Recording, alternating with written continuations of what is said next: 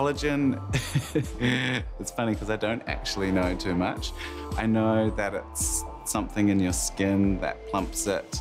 I know that it helps with helps me with my hair and my nails and my skin, um, and that's yeah, that's the main reason why I take it. I think that I've read somewhere or I've seen somewhere that it's like a protein, um, and I think the only thing that I would probably be able to identify is that it's meant to be like good for skin health. Collagen has a really universal role in the body, um, in particular, obviously, our skin, and that's what I tend to focus on. It's one of the main proteins in the skin's formation, in the skin's function. So when you look at someone and you see their uh, skin texture, how well hydrated their skin is, it really, really comes back to collagen and it plays a big part.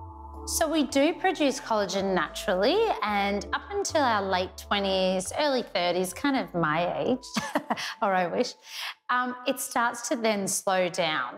So it's a really important time to consider a collagen supplement like the Q-Silica Pro Collagen it's our connective tissue, it's our bone density, and even our, you know, I am vain at the end of the day a little, a little bit. So our hair and our nails, um, it's going to really strengthen, keep your hair looking shiny. So collagen really is a plus.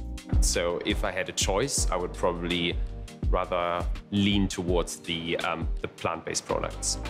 A lot of people aren't aware that collagen itself is derived from animal sources. So if you are a vegan, if you are someone that you're mindful of this, it's obviously something that you don't want to do. So is there vegan collagen out there? And the answer is yes. So the Q Silica Pro collagen supplement contains a patented natural wheat seed extract, which is known as ceramosides. Ceramosides moisturise the skin from within, and colloidal silica and vitamin C, they help with the natural production of collagen. Although I'm not vegan as such, I've made small lifestyle changes from cutting out dairy to using products that are ethically sourced, that are um, kind to the environment, kind to animals, but above all, kind to my body. Um, I'm not vegan or vegetarian, but I think that introducing those kinds of products is actually becoming more commonplace, and it's something that I would definitely think about. I would say on a scale from 1 to 10, the importance of skincare is probably around 8. I'm not so much concerned about my hair. Um,